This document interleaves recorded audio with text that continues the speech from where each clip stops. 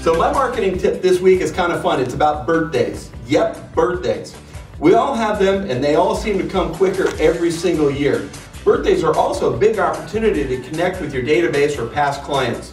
Throughout the buying process, you get the date of birth, or at least your lender does, so ask them. So make sure you enter it into the searchable field. There are several ways to connect with your clients around their birthday.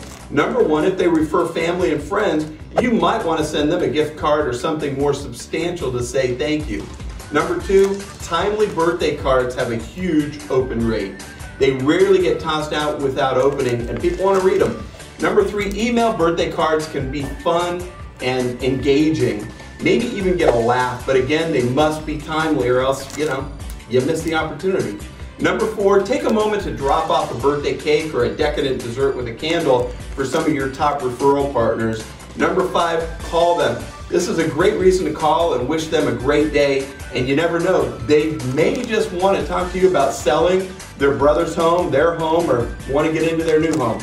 Birthdays are usually a happy time when we all appreciate our well wishers, so your efforts should be accepted graciously. Have fun with it and roll with it. Be sure to get them all on your calendar and stay top of mind. We're always here to help. Let us know if we can answer any of your mortgage questions. Have an awesome week.